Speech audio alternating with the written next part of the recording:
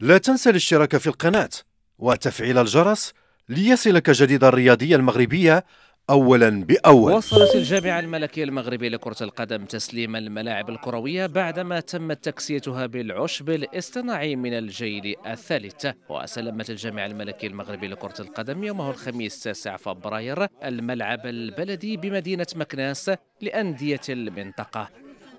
هذا الملعب. أنا جد مسرور باش يلعبوا فيه وليدات صغار والعصبة تجبر فيه تكون الشباب وفين يطوروا كرة القدم وكره القدم الهواة أنه تعطينا وتفرغ تفرخ الدراري الصغار اللي يقدر يصعدوا جميع الأقسام البطولة الوطنية. ومثل الجامع الملكي المغربي لكرة القدم في حفل تسليم نيابة عن السيد رئيس الجامع الملكي المغربي لكرة القدم السيد عبد الملك أبرون عضو المكتب المديري للجامعة الملكية المغربية لكرة القدم ورئيس لجنة البنيات التحتية.